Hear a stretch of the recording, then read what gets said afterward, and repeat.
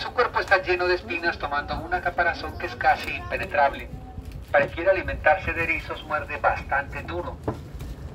Con el globo encontramos muchas sardinas, las pequeñitas que vemos cerca a la superficie. Aparecen peces loro, aquellos de varios colores. Sargentos son aquellos que tienen líneas amarillas y negras en los costados. Roncoros de color amarillo y peces loro los de varios colores. Todas aquellas son especies pequeñitas que cruzan a través de la malla en busca unos de protección, otros de alimento. Él es el pez globo o sapo espín de mar. Para ellos, vamos, eso, uno más, ahí de nuevo, uno para ti. Vamos.